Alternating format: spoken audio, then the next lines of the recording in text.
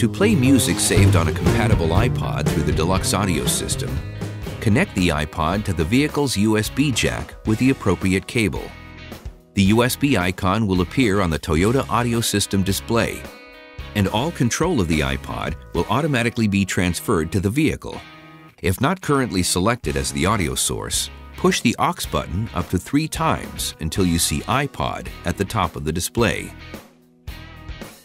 audio will begin to play automatically, and the display will show the title of the selection both at the top and in the center of the screen.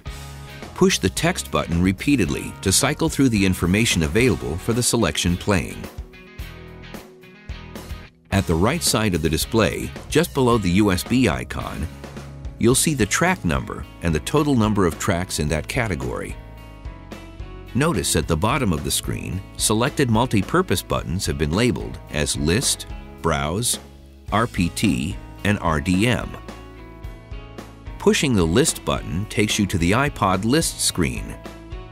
Here you see the selection playing in large letters next to an arrow. You can scroll through the selections available with the Tune Scroll knob or by pushing the Seek Track button up or down. The selection highlighted will automatically start to play after a short pause. Pushing the Browse button takes you to the iPod Browse screen and changes the labels above the multi-purpose buttons.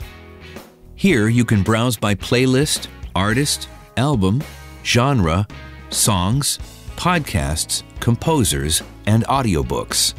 Pushing the More button on this page takes you back to the first page of categories. Playlists are folders or groupings you can use to organize your selections. To browse your playlists, push the P-List button. Scroll through the playlists the same way we scrolled through songs earlier. Choose a selection by pushing the Tune Scroll knob or by pushing the Home button. The name of the playlist will be noted at the top of the screen, and the system will play only the songs on that playlist push the Browse button for another category. If you want to browse by artist, push the Artist button. When you select an individual artist, the system will only play the songs by that artist.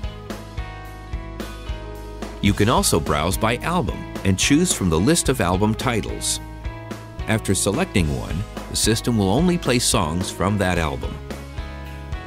The system also allows you to search by genre or specific types of music.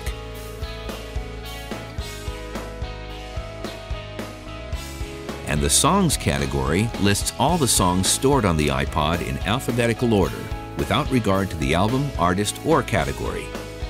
After pushing any of the Browse category buttons, you can always return to the main iPod Browse screen by pushing the Browse button again, or back arrow button.